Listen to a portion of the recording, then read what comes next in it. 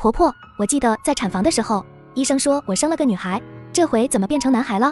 你是不是把孩子给抱错了？儿媳妇，你生个孩子把脑子给生傻了？怎么胡说八道啊？你生的就是个男孩，妈虽然年纪大了，可男孩女孩还是分得清楚的。可我怎么记得刚生下来的那会，听医生说是个女孩啊？不可能，是你听错了吧？我要是把别人家的男孩抱错了，那人家孩子不见了，不得在医院闹吗？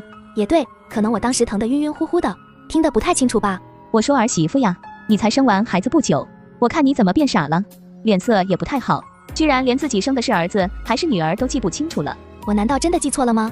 我生的真的是男孩吗？儿媳妇，你最近的脸色怎么这么难看？是不是哪里不舒服啊？要不要我去叫医生过来看一下？老婆，辛苦你了，谢谢你给我生了个儿子。可你怎么把自己给生傻了，连生男生女都记不清楚了？说着，老公拿出一张出生证明递过来给老婆看。我看你这么虚弱，还是给你请个月嫂照顾孩子吧，让我妈帮着干些家务，你就好好休息几天吧。老婆一手抱着孩子，一手拿着出生证明，她觉得自己真的是有点记忆失常了。儿子，你说的对，儿媳妇的身体这么虚弱，是该好好调养调养。你先去给她请个月嫂过来，我一会儿还要去菜市场买点菜回去做饭。婆婆说着就把孩子接过去抱进怀里。我的大孙子哟。你可真是太好了，我就喜欢我的大孙子。房间里，老公请月嫂的事，你妈不是一直反对吗？今天怎么态度来了个大转变呢？这肯定是你的功劳吧？没有你也是太抬举我了吧？我哪有那个能力？是咱妈心疼你给她生了个大孙子，所以才那么痛快的答应了。结婚的这些年，儿媳妇和婆婆的关系一直处得不怎么好，主要是因为双方家庭的矛盾。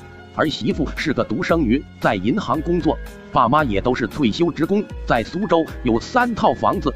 而梁白开老家在农村，他们现在住的房子也是儿媳妇爸妈买的，两家的经济条件差距很大。儿媳妇虽然对这些事情不是很在意，可是婆婆却很敏感，就怕儿媳妇瞧不起他们母子。不管儿媳妇做什么事情，她总要反对。只要一争吵，婆婆就说儿媳妇瞧不起她。直到儿媳妇怀孕后，婆婆的态度才有了好转。几天后，梁白开上班去了，婆婆领着一个年轻的女人进了家门。儿媳妇，妈今天给你找了个月嫂，你快看看满不满意？这可是我花高价钱给你请来的，听说她照顾孩子的技术很好的。小丽姐，你好，我叫丹丹，你家的宝宝肠可真是太可爱了，快点让我来抱抱。丹丹啊，我看你很年轻啊，看起来你今天没有化妆。小丽姐，我没有化妆，阿姨已经跟我说了。宝宝对化妆品过敏的，我平时也不喜欢化妆，你就放心吧，我会把你的宝宝当自己亲生儿子一样照顾的。看着面前这个态度诚恳的小月嫂，儿媳妇便把自己的宝宝交给了她。丹丹抱着孩子，脸上立刻露出了灿烂的笑容，看起来她真的很喜欢这个孩子。儿媳妇，你就安心的养身体吧，我刚才回来的时候，顺便给你买了一点排骨。这个月嫂，我也是打听了好长时间才给你找到的，你就放心吧。我现在就去给你去炖排骨啊，丹丹，我看你的身体就能猜到你也生个孩子，而且孩子应该不到一周岁吧？小丽姐，你的眼睛真厉害，这你也看得出来呀？我们都是女人，难道连这点还看不出来吗？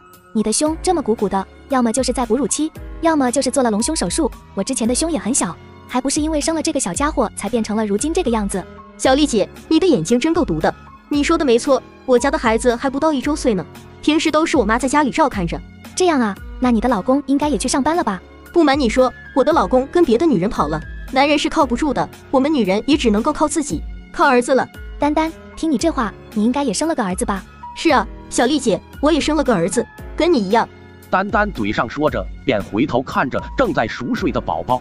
到了下午六点的时候，梁白开下班回家了。李大哥，你下班回来了，我去给你倒杯水吧。你工作了一天，应该很辛苦吧？丹丹一边说着，一边蹲下去给李杰换上拖鞋。儿媳妇看到这一幕，心里很不舒服，觉得这个小月嫂真会来事。月嫂难道还要帮主人换鞋的吗？这时，在厨房忙着做晚饭的婆婆也看到了这一幕，她急急忙忙的过来说道：“丹丹，这种小事不需要你做的，你只要把我的大孙子照顾好就行了。阿姨，我做这些也是应该的，你给了我那么高的工资，再说李大哥上了一天班，那么辛苦。”我已经把水倒好了，放在桌子上了。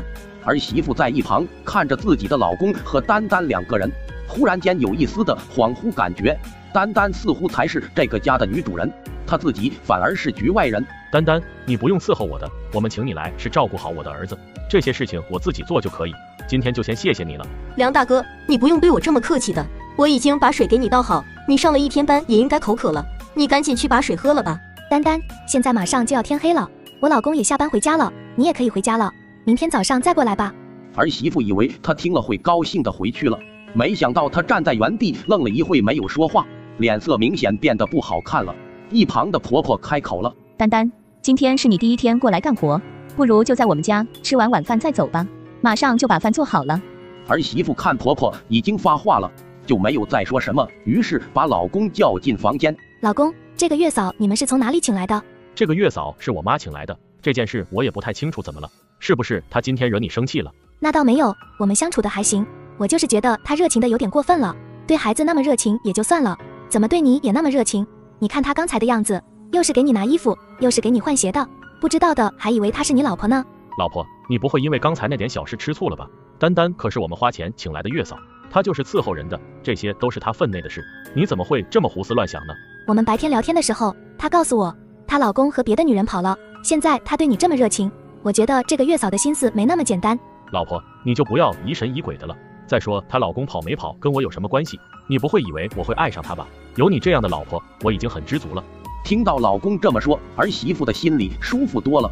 可吃晚饭的时候，婆婆对丹丹的态度很好，吃完饭后还亲自把她送到楼下。经过了白天所发生的事，到了晚上睡觉的时候，儿媳妇居然做了个梦，梦境中看到自己的老公和丹丹在一起，两个人有说有笑陪着宝宝。婆婆在一旁嫌弃的看着我，同时梦里还传出一个声音：生了一个女孩，五斤八两。儿媳妇一下子从梦中惊醒了，孩子也被我震醒了，老公也被我吵醒。老婆，咱们的宝宝是不是没吃饱啊？你听他是不是又开始哭了？可能吧，老公，你明天还要早起去上班呢，你就到隔壁房间里去睡吧，我一个人来哄哄孩子。儿媳妇拿出那张孩子的出生证明，看着自己吃奶的孩子。第二天早上。丹丹一早就过来了，儿媳妇由于昨天晚上没睡好，就把宝宝交给了丹丹，然后回房间补了一觉，这一觉就睡到中午。儿媳妇从房间出来，就看到丹丹抱着儿子正在给他喂奶。丹丹，你这是在干什么？小丽姐，你这一觉睡得可真久，刚才孩子醒了，一直哭个不停，应该是饿了，所以我就给他喂奶了。你怎么可以没有经过我的同意，就用自己的奶水喂我的宝宝呢？小丽姐，你千万不要误会。刚才宝宝一直哭闹不停，我觉得他是饿了才哭的。你婆婆又去菜市场买菜了，我也不知道奶粉放在什么地方。我看你睡得那么熟，就没忍心叫醒你，所以我才想着自己也有奶，就先给孩子喂一点吧。小丽姐，你放心，我的身体很健康的，你可千万不要生我的气呀。丹丹不停解释，但是儿媳妇的心里却很不是滋味。就在这时，婆婆买菜回来了，看到家里的气氛有点不对，发生什么事了？我看你们两个脸色都不太好看了。阿姨，没什么大事，刚才宝宝饿了，我不知道奶粉放在哪儿。小丽姐又睡得很香，我就想着自己也有奶，就给宝宝喂了一点。可能小丽姐看到了有些不高兴吧。原来是这样啊，小丽，这点小事你就不要放在心上了。这有什么不高兴的？古时候的皇上都是奶妈为大的，而且丹丹也有，喝她的一点奶应该没什么问题的。以前在我们农村的时候，孩子奶水不够，还经常喝羊奶呢。难道人奶还不如羊奶吗？阿姨说的对，小丽姐，今天这件事怪我没提前和你商量。可现在好多妈妈的奶水都不够，还向别的妈妈买奶水喝，这真的没什么的，我没什么毛病的。话虽如此，可是儿媳妇的心里也不知道为什么，就是看见她抱着儿子喂奶那么亲切的样子，就是觉得有点不是滋味。你以后就不要这么做了。我们家里有奶粉，还有，如果我下次睡得再香，你也要把我叫醒，我是不会怪你的。说完，就抱着自己的儿子进了房间。过了一会，丹丹就端了一杯水，满脸歉意的走进了儿媳妇的房间。小丽姐，对不起啊，今天的事是我做的不对，我真的不知道你会介意我给孩子喂奶，以后我保证不会再有下次了。这件事已经过去了，以后我们就不要再提了。我也不会怪你的，我只是不习惯别人给我的孩子喂奶，你只要下不为例就行。我知道了，小丽姐，我保证绝对不会再有下次了。这是我刚给你倒的一杯水，你就趁热喝了吧。小丽姐，我好羡慕你啊，你的命可真好啊！你工作那么好，你的老公对你又这么关心，我还听说你娘家有好几套房子呢，是不是真的啊？也没有你想的那么好，我们只不过是一般家庭而已。房子确实有三套啊，你娘家在市里有三套房子，那家产不得接近千万，而且这两年的房价还一直在上涨。你又是独生女，将来这些可都是你的。等以后你的宝宝长大了，可就享福了。你那几套房子肯定都会过户给你儿子吧？到时候你儿子定会有很多小姑娘排着队倒追他呢。当然了，等我儿子长大后，我肯定会给他准备房子、车子，还得给他娶媳妇呢。小丽姐，做你的儿子命可真好啊！时间就这样一天天的过去了，儿媳妇也慢慢习惯了丹丹的热情。可是宝宝只要一饿就喜欢往丹丹的怀里钻，找他要奶喝。又过了几天后，儿媳妇又发现丹丹给我的宝宝喂奶了，这下可彻底把儿媳妇给惹怒了。丹丹，你怎么又给我的宝宝喂奶了？你要这么做的话，我只能把你给辞退了。丹丹听了儿媳妇的话，好像有点慌张。儿媳妇看到月嫂又偷偷的用自己的奶水给宝宝喂奶，这下彻底惹怒了儿媳妇。丹丹，你到底怎么回事？你怎么又给我的宝宝喂奶了？我以前就警告过你，让你下不为例吗？你要故意跟我作对吗？那我只能把你辞退了。小丽姐，我你先别发火，听我解释。小丽，你这么大声干什么？你就不怕吓着我的大孙子吗？是我让丹丹喂奶的，你有什么火就冲我发好了。我让丹丹喂点奶水怎么了？你为什么要这么计较？我这么做不也是为了给你们省点奶粉钱吗？你现在在家里坐月子，又不能出去工作，单位每个月就补贴你那点基本工资，家里的开销都要靠我儿子一个人，难道买奶粉不花钱吗？婆婆，你怎么能这么说话？先不说家里的房子和车子都是我爸妈买的，就算我在家里坐月子，单位给我补贴的基本工资也要比你儿子的工资多。跟孩子相比，我觉得这些事都不重要。我就是看不惯外人给我的孩子喂奶，这件事情我以前已经跟他讲过了。如果孩子饿了的话，可以随时来找我的，小丽，我让你喝各种下奶的汤，你就是不愿意喝，还嫌这嫌那的，就晚上给孩子喂两顿，有时候还不够，还得泡奶粉喝呢。你坐月子的这些天，我们一家人对你这么好，还给你请了一个高级的月嫂，你怎么就不知足呢？儿媳妇不想听婆婆唠叨，也不想跟她吵架，就想把孩子抱回房间去。可是丹丹却抱着孩子不放手，婆婆还过来帮忙把儿媳妇拦住了。妈，你们这么做是不是太过分了？我难道连自己的孩子都不能抱吗？他可是我的儿子啊！我当然知道他是你的儿子，可是你现在的情绪很不好，我怕孩子跟着你受委屈。等你情绪稳定了再说。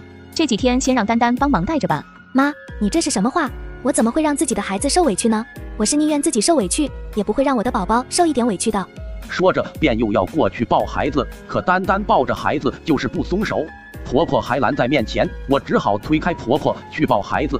谁知道婆婆却一把抓住了儿媳妇的头发，将儿媳妇按倒在沙发上。小丽，你这个没良心的东西，居然还敢推我，真是无法无天了！看我今天怎么收拾你！婆婆说着，抬手就给了儿媳妇几个大嘴巴子，嘴里还不停的骂着：“像你这样的货色，还敢给我脸色看？你老是对我鸡蛋里挑骨头，我要不是看到你怀孕生了个儿子的份上才让着你，你还真以为我管不了你了吗？你给我记住了，这个家永远都是我做主。”只要有我在，还轮不到你放肆。你听清楚了没有？我今天就把话给你挑明了。如果你还想在我们家继续生活下去，以后你就给我放老实点，不然的话就滚出我们这个家门。我会让你老公和你离婚的。如果你们夫妻俩离婚，你们家的那几套房产也是属于婚后财产，也应该有我们家的一半。你个老东西，我见过不要脸的，可没见过你这么不要脸的，居然妄想霸占我娘家的家产。我家里的三套房子是我爸妈留给我的。我嫁到你们家这些年，家里的开销也都是我在支出，你居然还想着离婚后要分走我一半的财产，简直是白日做梦！你一大把的年纪都活在狗身上了吗？竟然能说出这样丧尽天良的话，我看你真是太不要脸了！儿媳妇一边说着，一边用力反击，可是老太婆常年干农活，力气很大，儿媳妇根本不是她的对手，被她死死的压在沙发上，不能动弹。阿姨，你快点松手吧，不要再打小丽姐了，孩子都被你们吓哭了。丹丹说着，就过来把婆婆给拉开了。儿媳妇哭着跑回了房间，拿起手机给我老公打电话。杨白开，我们还是离婚吧，这日子没法过了。小丽，到底发生什么事了？我还在上班呢，你就不要和我开这种玩笑好不好？我没有给你开玩笑，你妈竟然敢打我。我们现在住的房子是我父母留给我的，你跟你妈赶紧给我滚出这个家。小丽，你的火气怎么这么大？到底发生了什么事啊？你怎么突然说出这样的话呢？小丽就直接挂断了电话。这时，丹丹从客厅走进了房间。小丽姐，都怪我不好，你就不要生气了。阿姨刚才确实是有些冲动了。你也不是什么好东西，你赶紧滚出我的房间，滚出我的家。儿媳妇走到阳台，抓起手机准备给小姨打电话，可是刘丹丹却慢慢的靠近了小丽，趁小丽不注意的时候就推了一把。小丽摔下去的时候，慌乱中抓住了阳台的边缘。丹丹又狠狠地瞪着小丽，用脚踩着小丽的手。小丽忍受不住剧痛，就松开了手，随后就失去了意识。等再睁眼睛的时候，已经躺在了医院的病床上。梁白开和他妈都不在，只有小姨在床边。小丽，谢天谢地，你总算醒了。你现在感觉身体怎么样？你还认识小姨吗？这时，梁白开走进了病房。老婆，你怎么能做出这样的傻事呢？我妈她年纪大了，脾气不好，你就不能让着她点？有什么事等我回家再说不行吗？为什么要选择跳楼呢？你怎么舍得丢下我和孩子呢？你是亲眼看到我自己跳的吗？也不问问原因，张嘴就胡说八道。难道不是吗？你也太傻了，为什么这么想不开呢？要不是店铺的棚子替你挡了一下，你现在可能就没命了。我心里很清楚，明明是刘丹丹把我推下楼的，可梁白开却说是我自己跳楼的。我不知道他究竟站在哪一片，还是说刘丹丹把梁白开也给骗了，说我是自己跳的楼。事情的真相可能比我想象的还要复杂。我盯着李杰的脸看了很长时间。老婆，你为什么盯着我看？怎么不说话呢？你是不是脑子摔糊涂了？你可别吓我啊！我的脑子很清醒，我现在比任何时候都要清醒。我儿子呢？我想看看儿子。儿子你就不用担心了，这几天就有我妈和丹丹带着呢。你还是当心自己的身体吧。你身上有什么方不舒服吗？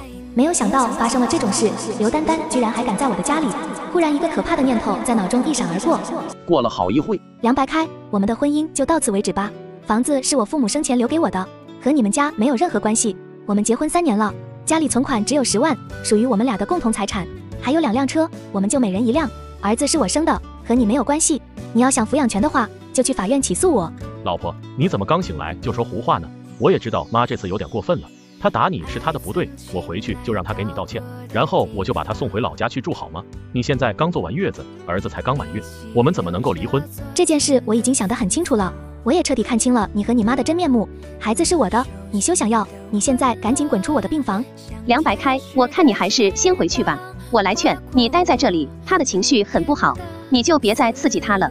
凉白开被小姨劝走了。小丽，你还是控制自己的情绪。这件事我也了解了个大概。你那个婆婆确实不是什么好东西，有什么事不能好好说，怎么能动手打人呢？你刚才说要离婚，我觉得你要慎重考虑。两个人过日子不容易，你们就相互让着点。孩子都满月了，怎么能说离婚就离婚呢？小姨，你不知道这件事并没有你想的那么简单。我估计这里面还隐藏着不可告人的秘密。我也只是猜出了大概。小丽，那小姨也不再劝你了。你这孩子从小就倔强，有自己的主见。当初你非要嫁给梁白开，现在你又说要离婚，我看你还是好好考虑考虑再说吧。你现在是个病人，需要好好休息，就不要想那么多的事情。行了，我先出去给你弄点吃的。小姨，你等一下，先听我把话说完。那个孩子可能不是我的，我想要做个亲子鉴定，你可以帮我安排一下时间吗？还有，我不是自己跳楼的，我是被那个月嫂刘丹丹推下楼的。可是梁白开他妈和刘丹丹都说我是因为吵架自己想不开才跳楼的。什么？小丽，你怎么不早说呢？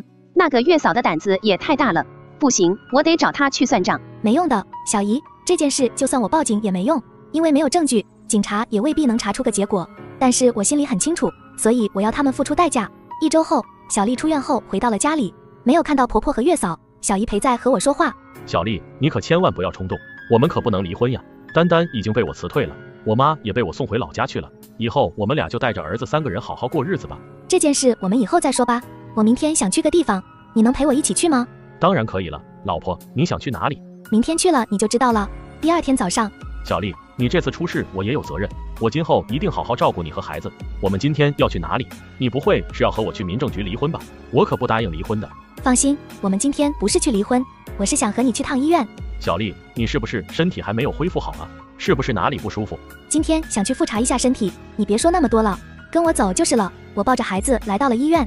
小丽，你快点告诉我，你来医院干什么？你到底哪里不舒服啊？梁白开，我总感觉这个孩子不是我们的，所以我今天已经预约好了做亲子鉴定，我想来确认一下。梁白开听了，立马变了脸色。小丽，你这不是在胡闹吗？孩子怎么可能不是我们的呢？根本没必要做什么亲子鉴定。再说我是孩子的父亲，你想做亲子鉴定？怎么不是先跟我商量一下？我看你的脑子真的是摔傻了。梁白开，我告诉你，我这脑子清醒的很，我就是感觉不对劲，我必须要确认一下。这里是医院，你们就不要在这吵了。小丽，我也觉得你做的不对，孩子是你生的，就算要做亲子鉴定，也应该让梁白开去做。孩子可是从你肚子里生出来的呀，梁白开都没有怀疑你，你怎么自己怀疑自己呢？非要过来做什么亲子鉴定，真是有点过分了。是啊，小姨说的对，小丽。我又没有怀疑你为什么要做这个亲子鉴定。如果非要做，那就让我去和孩子做吧。孩子如果是我的，你也可以放心了。既然你都这么说，那好吧，就让你和孩子去做吧。说完，丈夫带着孩子去做了鉴定。小丽，你不要着急，我已经托人安排了加急结果，明天就能出来。明天一早我就陪你们一起过来拿结果吧。小丽，不是我说你，你怎么整天疑神疑鬼的？儿子肯定是我的，你怎么能够凭直觉做事呢？等结果出来了，我看你还有什么话说好了。我知道了，等结果出来了再说吧。不过我还是觉得我的第六感很准确的。老婆，我可以肯定的说，孩子百分之一百是我的，你就等着好消息吧。小丽，我敢肯定儿子百分之一百是我的，你是疑心病太重。你这么肯定啊？可我总觉得这孩子不是我生的。你话不要说的太满了，还是等明天的鉴定报告出来后再说吧。第二天早上，我把结婚时给李杰买的西装和衬衣放在客厅的沙发上，由于价格比较贵，平时一直没舍得穿。小丽，你今天怎么把我结婚时候的西服给拿出来了？这套衣服我平时可舍不得穿。这套衣服是我特地拿出来让你穿的。如果今天的鉴定结果证实孩子是咱俩的，那我们就一起出去吃顿饭庆祝一下，把以前不愉快的事全部忘掉，好好过日子。但是我得跟你说清楚，我以后再也不想让你妈进这个家门了。如果孩子不是你的，那我们就去离婚。好的，老婆，我一切都听你的，你就放心吧。孩子肯定是我们的，以后我也不会让我妈再来打扰我们的生活。梁白开说着，就把沙发上的西装穿在身上。到了中午的时候，小姨带着鉴定报告回来了。她把鉴定报告放在客厅的茶几上。这是你们的亲子鉴定结果，我拿到以后就没有打开过。我先给你们说好了，无论是怎样的结果，我都希望你们理智的对待。梁白开，我有点害怕，还是你来把报告打开看吧。行，那我就打开看了。其实这根本就没有必要看，儿子肯定是我的。梁白开笑眯眯的打开了报告结果，看到结果后，他脸上的笑容立马消失了，神情也变得古怪起来。小丽伸手抢过鉴定报告，一看，直接将它甩在了梁白开的脸上。梁白开，你在外面做了什么？你别以为我不知道，我早就怀疑你了。你在外面和别的女人生了个儿子，你和你妈联合起来，把我生的女儿给替换了出去，却把你外面的私生子给带回来让我抚养。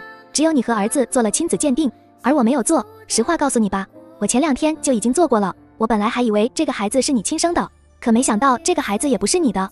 你是从哪里抱回来的野种？你这个畜生，你竟然为了这个野种，连自己的亲生女儿给抛弃了！你的心怎么这么狠啊？你赶快告诉我，我的女儿究竟在哪里？梁白开待了一会，没有回答小丽的话，却慌里慌张的拿出手机和钥匙冲出了家门。小丽本来想追着跟过去，想去找自己的女儿。可是脑袋却晕晕的，人就瘫倒在地上。小丽，你先别激动，我扶你到沙发上休息一下，我跟过去看看，我一定会帮你把你的女儿给找回来。你就在家等我的消息吧。小姨说完，就立刻追了出去。我在沙发上躺了一会儿，就慢慢的回到了自己的房间，看着房间里的婴儿床上，那个孩子静静的睡着了。我原本以为自己真的记错了生男生女，可是后来因为婆婆和月嫂的种种表现，让我产生了怀疑，所以我心里便产生了一个可怕的猜测。现在看来，这个猜测是对的，他们真的把我的孩子给调换了，而且我的老公也参与了。直到天黑的时候，我的小姨才抱着一个孩子回来了。梁白开也狼狈不堪的回家了，一进门她就立马给小丽跪下了。婆婆也跟了过来，她也颤抖着跟着儿子跪在地上。小丽，是我错了，我的脑子进水了，我对不起你，要打要骂随便你，我只求你给我一个机会弥补你。小丽，千错万错都是妈的错，都是我出的主意，你就不要怪我儿子了。我现在就跪在地上给你磕头，你就原谅我们吧。老太婆说着就跪在地上，砰砰砰的对着小丽拼命的磕头。小丽没有理会他们母子俩。只是伸手接过小姨手中的孩子。小丽，这个孩子是你婆婆和一个保姆在养着，也不知道他们对孩子怎么样，有没有虐待？小丽，你放心好了，孩子很健康，我也不傻，她是我的亲孙女，我也很心疼她，很舍不得她的。哼，你舍不得她，你舍不得她，怎么还把她丢掉，拿别人家的孩子来让我养？你说这话对得起自己的良心吗？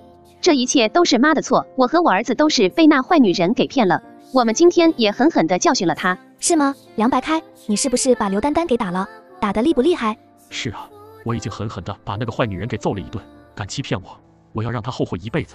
那个女人太可恶，刚才我也跟着打了，我们把她打的鼻青脸肿的，她也太不是人了，居然敢来骗我们。小丽，这点他们没说谎，我可以作证，刚才我是亲眼看见的，他们把那个女人打的确实很厉害，现在可能已经昏过去了。听到小姨帮他们。梁白开和他妈对着小丽连连点头，还露出一副讨好的笑容。小丽看着这对无耻的母子，恨不得想踹上几脚出出气。可是小丽克制住了。半个小时后，楼下来了两辆警车，直接把我们几个人都带去了派出所。在派出所，小丽听说刘丹丹被打得很严重，已经被送进了急救室。在派出所录完口供后，我就把刘丹丹的儿子交给了警察。我和小姨带着我的女儿回到小姨家里，我在小姨家的房间里抱着自己的女儿给她喂奶，看着孩子大口的喝着自己的母乳，我开心的笑了。小姨也走了过来，她把鉴定报告放在桌子上。小丽，你当初就是太倔强，不听我的劝，非要嫁给梁白开不可。现在知道后悔了吧？你老实告诉我，你是怎么知道那个孩子也不是梁白开的儿子呢？我也是根据他们的表情猜想的。不过，就算那个孩子真的是凉白开的，我也有办法拆穿他。